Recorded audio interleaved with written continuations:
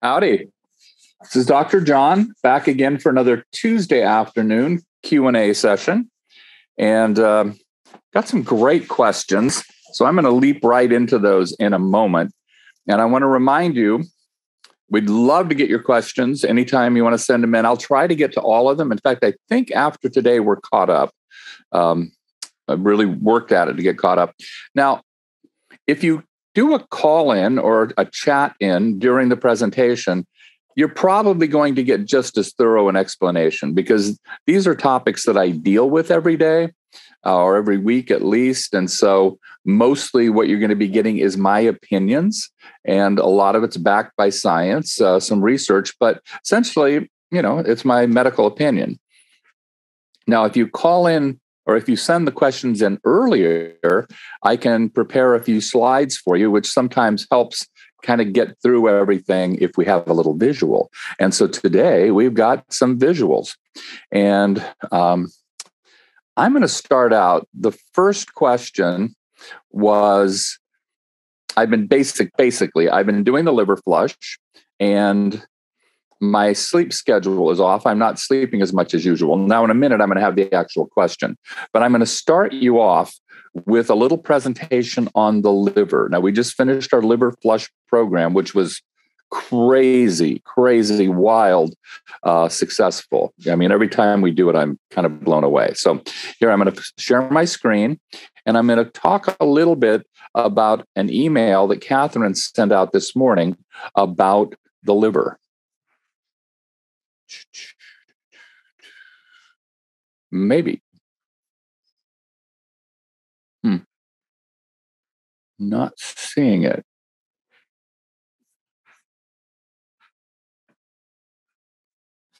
Well, I'm going to come back to that then because I'm not finding, for some reason, that that is open on my screen.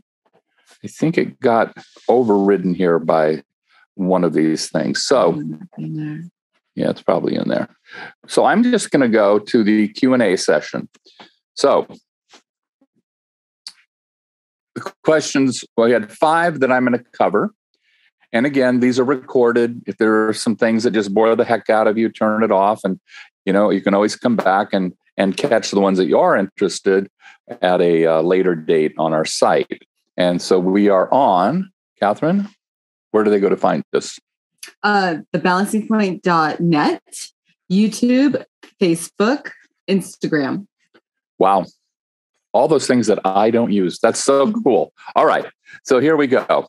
Um, first question. There we are. I skipped over it. I'm currently doing the liver flush, and I'm noticing my deep sleep isn't as long as it normally is. Why would that be? And of course, it all comes down to circadian rhythms. We are animals, and we sometimes forget that. And all animals, all plants, every living thing on the earth is subject to rhythms and circadian rhythms. And so we have annual rhythms, we have monthly rhythms, we have daily rhythms. And so this is a melatonin, this is a circadian rhythm uh, chart, and this is a Western chart. Okay. So here we can see at about eight, nine o'clock, melatonin secretion starts. Then, you know, within a half an hour to an hour, we have enough of it that we can go to sleep. Two o'clock should be should be our deepest sleep. If you have anxiety or if your liver's out of balance, 1 to 3 a.m. is when you would likely wake up lowest body temperature about 430 sharpest blood pressure rises about 645 that's why we there are a lot of heart, that's heart attack time. People get out of bed and they're kind of rushing and their blood pressure naturally goes up and that's a very dangerous time for some people. Melatonin then stops in the morning and then around 10 we get our highest alertness and that's why i recommend that people do their most important things, the most important work in the morning. And uh, I find for me that this is certainly true. The work that I do between 6 a.m. and noon is by far my most productive. However, in the afternoon, you have some of your best concentration times around 2.30 not a bad time to watch a seminar or listen to a seminar um, And again, the more I align my body to these clocks, uh, the the better I feel. 3:30, fastest reaction time. Five o'clock, greatest cardiovascular efficiency and muscle strength. Very interesting. Uh, and again, highest blood pressure around six, highest body temperature about seven in the evening. Now, as these stay in rhythm, this is what you'll find as they stay in balance. As they get out of balance, you'll see that you might get too hot at seven in the evening. You might get too cold at 4:30 in the morning. In fact, those are questions that we ask for Chinese medicine. Okay, here's another little um, clock, and this is looking at some different things slightly, um, as you can see, but the same basic idea. About 12:30 at night, your bowel movements get suppressed. That's why you don't have to get up every night and poop. All right. Another one, just, you know, just some different ways to look at it. Your urinary flow is highest in the early evening. Risk of stroke is highest between eight and nine, right? And so you can just see these different things. Now, the point being, uh oh, where's that Chinese? Oh, here's the Chinese clock. So this clock is extremely accurate and it shows that different organs have highest activity at certain times of the day. Chinese have had this for hundreds and hundreds of years. It is very consistent with the Western clocks, uh, except in the Western clocks, they don't attribute it to specific organs. So if the liver, for example, is out of balance, which it will be while you're doing a flush. You're flushing the liver, you're cleansing it, you're getting things to move. Um, you will change how your body breaks down and utilizes sugar. So you'll start out with your glucose. We call, you know, we call it a, a fed state after you've eaten, and takes a few hours to burn off that sugar then the body will start burning glycogen from the liver. And glycogen is just really, really, really complex chains of sugar or glucose. Sorry about that. We got some doggy action here. That's the thing with Amazon. You know, never know when they're going to hit. So, anyway, um, so when you get that change in liver function, it's going to change the timing on these circadian rhythms. And so your melatonin should be highest early in the evening. That may be getting thrown off. The liver uh, stores the blood, cleans the blood, uh, goes through all the products of or byproducts of your uh, ingestion of food during the day. And after a few hours, it switches over to burning that glycogen. And if you're having difficulty with the liver, right, which again you would during a flush because it's putting stress on it, then you may not be going into glycogen burning properly and you may be waking up. Another possibility is you may be, uh, there's another changeover that has to happen and you start um, going from glycogen burning to beta oxidation burning of fat. And at any of those junctures, uh, it's possible for the blood sugar to get too low and wake you up. So I suspect that's what's happening. This may happen for a week or two after you finish the flush, also. So try not to worry about it too much. Next question Has the function of the appendix been determined by traditional medicine? They say it has no function, although it doesn't make sense that nature would do that. What functions does TCM give to the appendix? That's a great question and a great observation. Yeah, we didn't come with any extra parts. It's like if you if you buy something that you have to put together and you put together this object and you have extra parts, that's bad. Your package should not come with extra parts, right? And neither should you. And you do not, in fact. Uh, for decades, doctors yanked every set of tonsils they saw. I am 71 years old. Anybody born within a few years of not anyone, but almost everybody, unless your parents went to natural healers, chiropractors, etc. But if they went to medical doctors, the odds are overwhelmingly, if you're in my age range, that they just yanked out that your tonsils. Well, we now know that the tonsils are critically important organs. They're lymphoid tissue. They are important to your immune system. They uh, trap bacteria. They have a lot of beneficial function. Uh, gallbladders. The, the saying in Western medicine is when in doubt, cut it out. The gallbladder is one of the most important organs in your body overall. It's just that you can live without it, right? You can't live without your heart. You can't live without your lungs. You can't live without your liver. You can live without your gallbladder, but that doesn't make it unimportant. People who have their gallbladders out suffer from many problems, often problems they're not even aware of. Okay.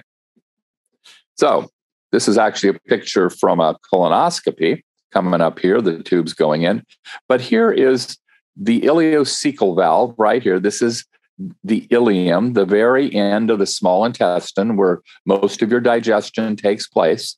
Then the products of digestion get dumped into the large intestine. At this point, they're very fluid, watery. Uh, one of the jobs of the large intestine is to pull the water out so that you don't poop out too much fluid, um, which historically was a really, really, really bad thing. Many of the most common lethal disease epidemics that swept through the world over the last few thousand years were diseases of diarrhea. And people actually died because they had diarrhea and lost all their fluids. So it's a real serious thing.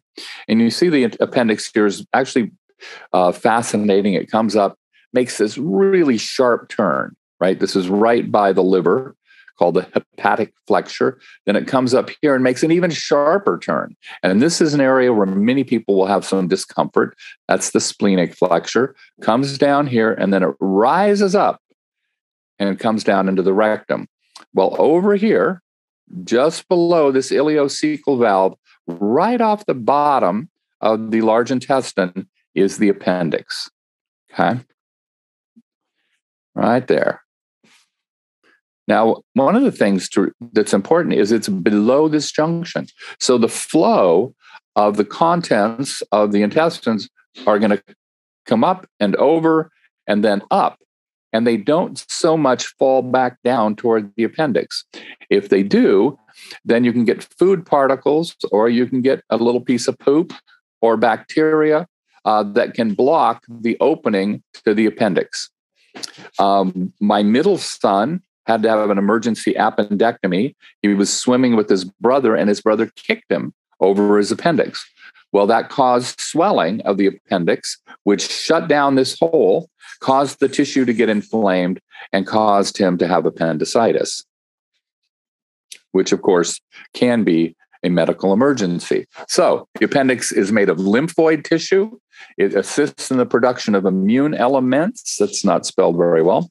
It helps fight infection. And it's also, and this to me is the most important historically, it's kind of a backwater reservoir. Remember, it's, it's out of the rapids.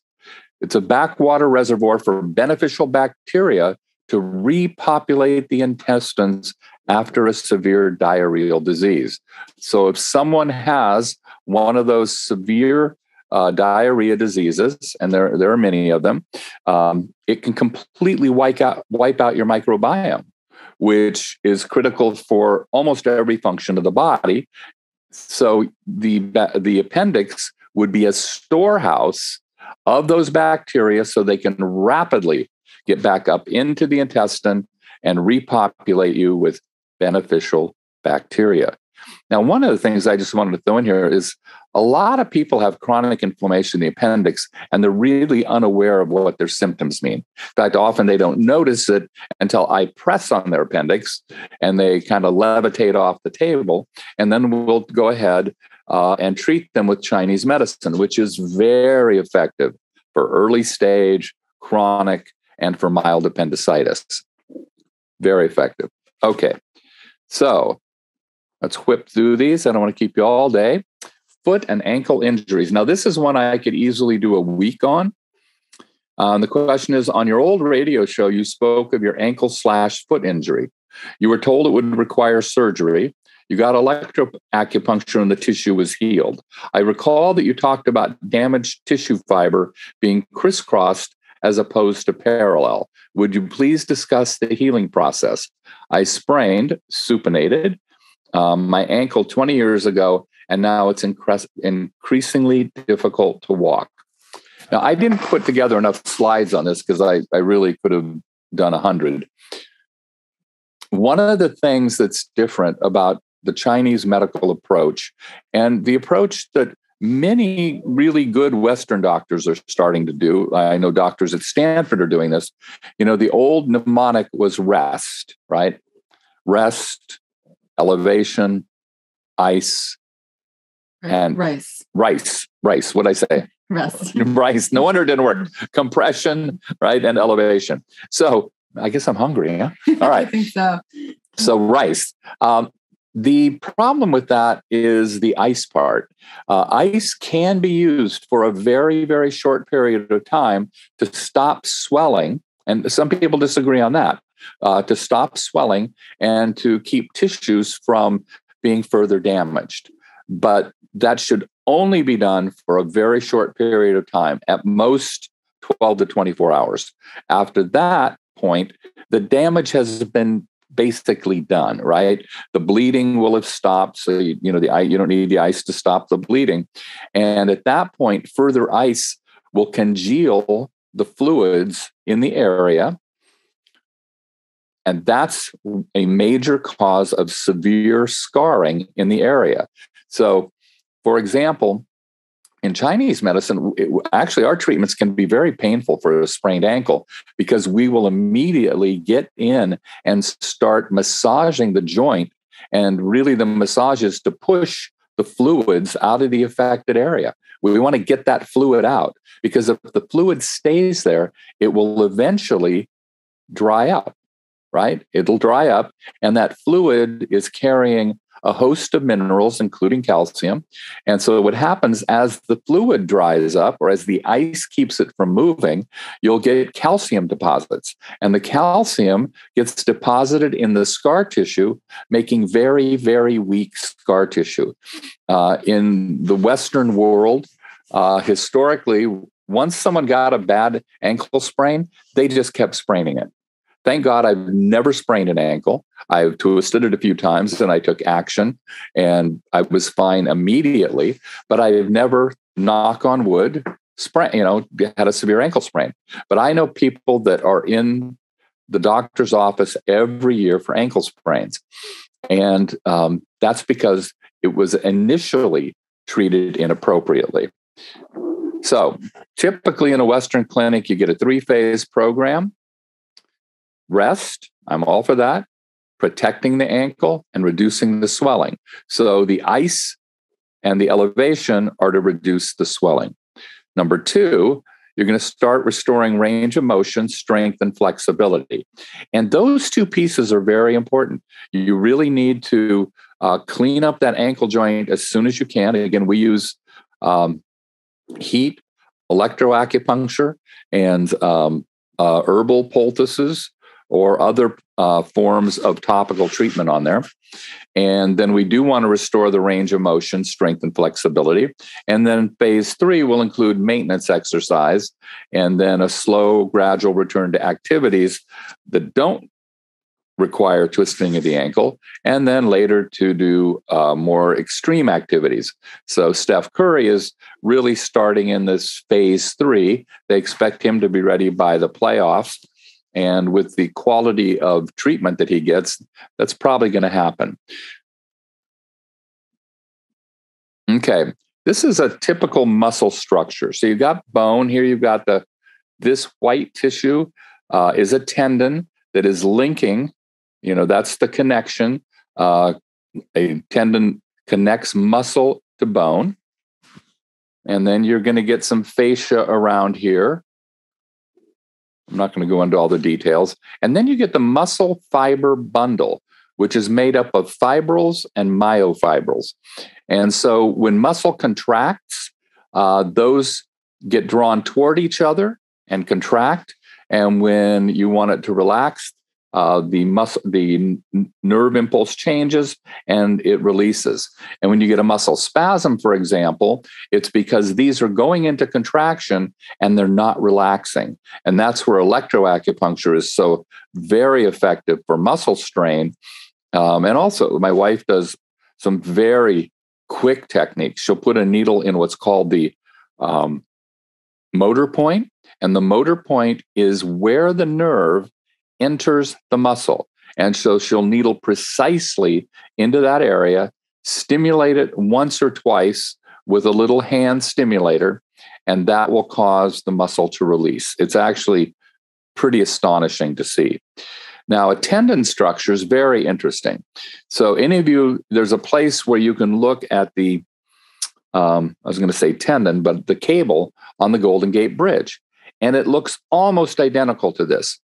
So you've got this little tiny, these little tiny bunches of cables. And where you see these little bunches, that's made up of even smaller bunches of cables, right? So they're like the size of a thread. And those build up to a certain point, and then they join with these other fibers, which then join with other fibers, and then they're wrapped like this exactly like the cable on a bridge. And so, what you're really coming down to isn't this just this huge mass, it's these individual fibers. And I don't have a good picture here. I apologize. Um, but there are good pictures out there showing that these fibers get cross linked. So they should be straight, they should be in their own little bundles. And if you get overwork, you'll get some, you know, little crossover here, but that's why cats stretch and dogs stretch, and hopefully you stretch when you get up because it breaks down those little bundles of scar tissue. And so, very, very critical process. But in an injury, you get cross fibering, and fibers from this group may cross over and link with fibers from this group. So they're running in the wrong direction. So when you get um, the tendon, when you get a contraction, it's actually contracting in the wrong direction. And so the job that we need to do is straighten out these fibrils. There are many things that can help with that. Um, there are injection therapies that help. Massage therapy can help tremendously. Uh, we do something called gua sha, where we're running something along the tendon. We do cupping therapies to pull the dead blood to the surface to make the healing better. But the number one thing, and this is really well proven, and there are good studies out there, uh, show that the single most effective thing for healing tendons and getting this cross linkage to dissolve and resolve is electroacupuncture. It specifically does that. And they found that there's a many mm, any number at least 15 different chemicals that are released at the site of the electroacupuncture.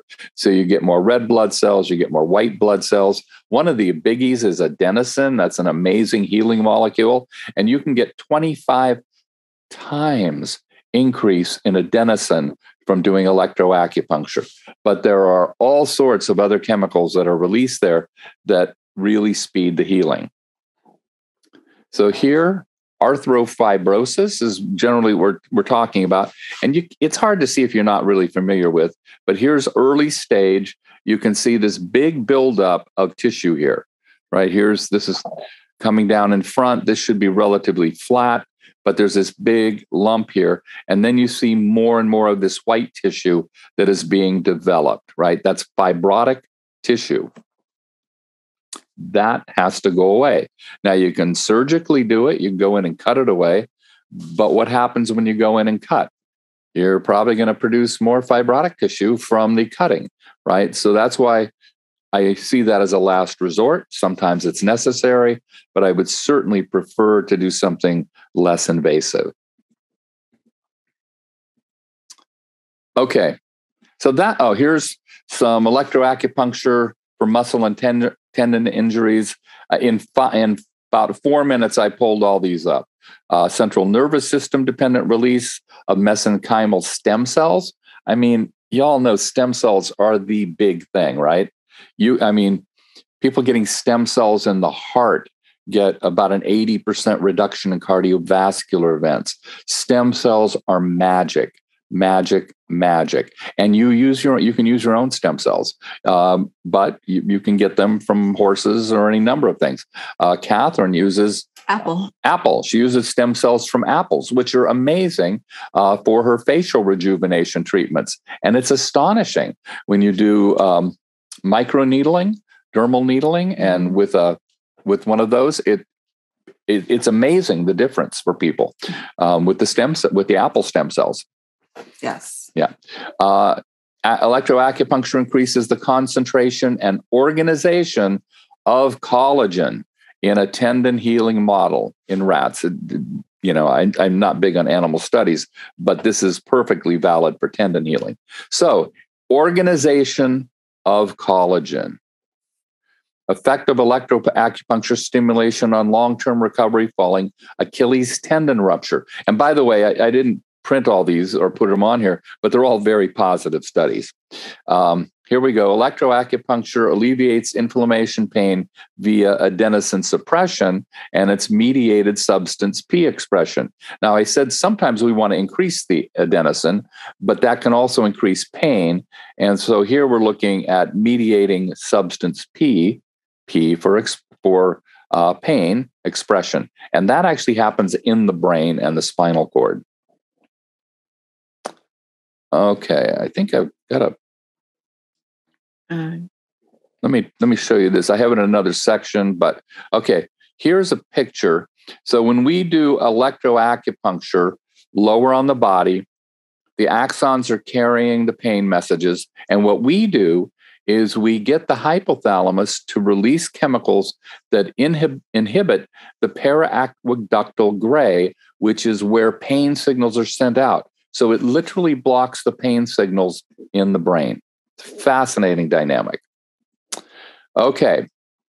How soon postpartum can one start working on histamine intolerance issues? First, what are some symptoms? Headaches, migraines. You know, since I started paying more attention. I mean, I've known histamine was a problem for decades. I have a histamine problem, um, but I had I really hadn't put enough attention on it for migraines. And now that I'm treating migraines that are um, not there are dozens of different mechanisms for migraines, but if none of the other ones work, I'll go to histamines, and that often is the smoking gun. Uh, nasal congestion, fatigue, hives, uh, com, you know, almost completely a histamine intolerance issue. Digestive problems, irregular menstrual cycles, it's a huge issue. Nausea, vomiting. Few symptoms. Here are some more flushing, rash, arrhythmias. Those are all histamine intolerance. Uh oh, this didn't get blown up. Sorry. Um, I'll blow this up before we send it out to you. These are just some histamine rich foods. Uh, I put it here because it's pretty, but you can go online and there are dozens of sites that will list histamine dense or histamine rich foods.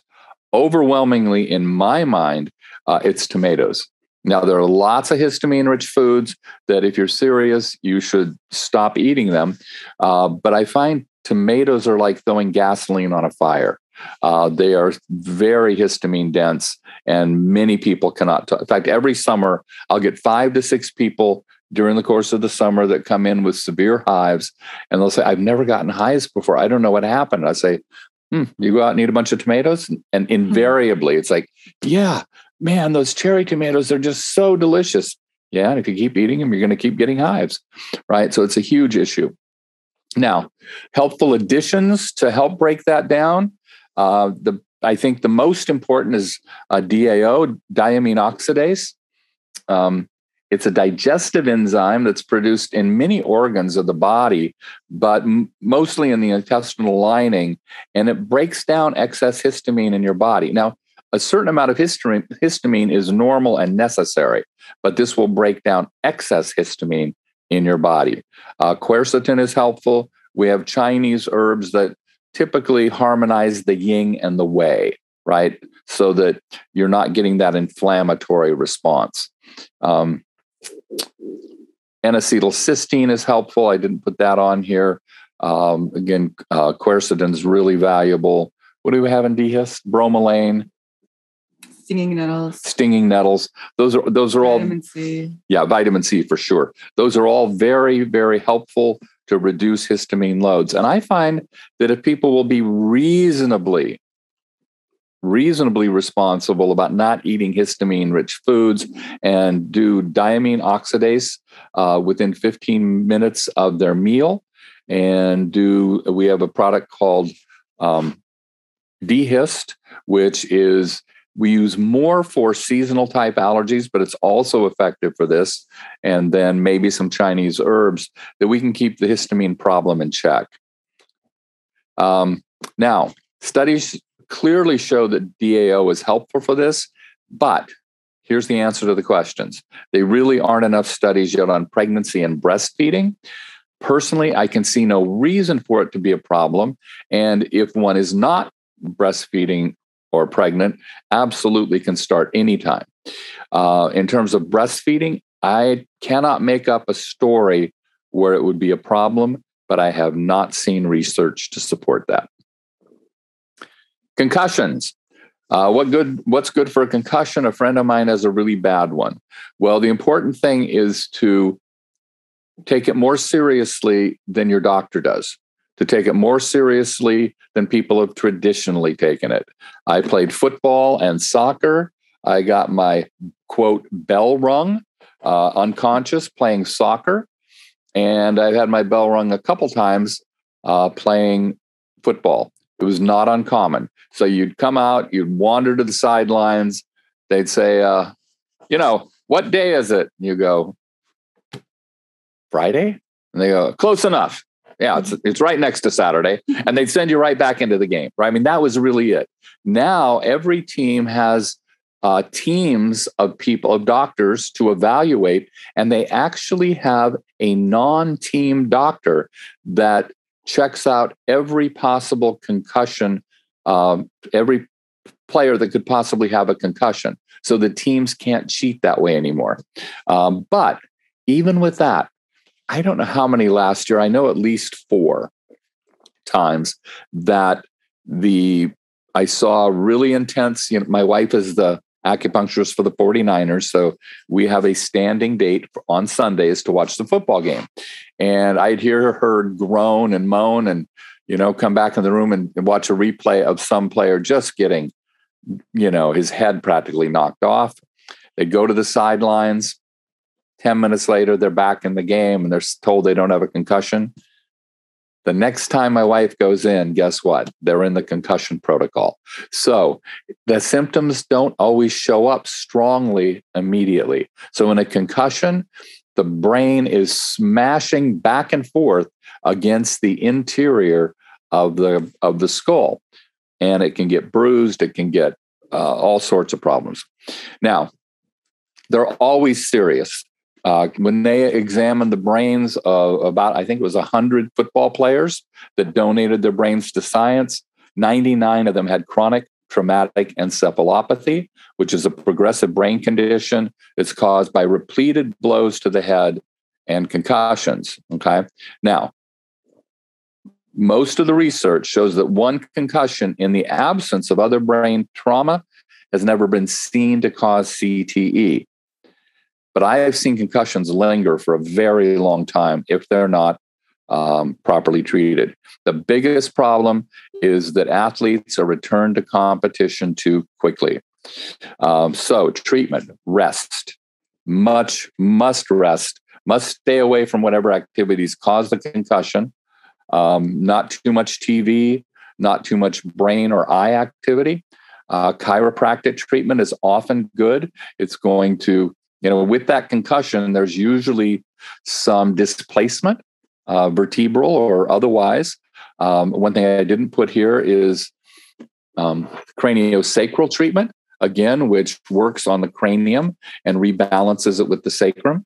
I love craniosacral treatments, uh, very gentle and can be very powerful. Acupuncture treatment, usually electroacupuncture.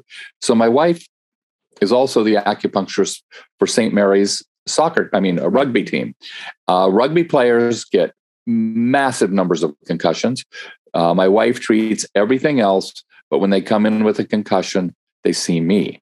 And I evaluate them. And at least half of the time, when they are told they're ready to go back and play, when I do my evaluation, I suggest they not do it for a while because I can still see signs of the trauma. And there are herbal treatments. There's there's one treatment that is specifically for concussions, and I spelled that wrong. Tong She, Huo Xue Tong. Don't go buy it on your own anyway. You should get you know someone to prescribe it for whoever it is. This word is spelled incorrectly. It should be I A O. Uh, tong Qiao Huo Xue Tong. So those are the best treatments I've seen. There are others. There are a variety of um, treatments that are done by, psychi- by psychologists that can be very, very helpful.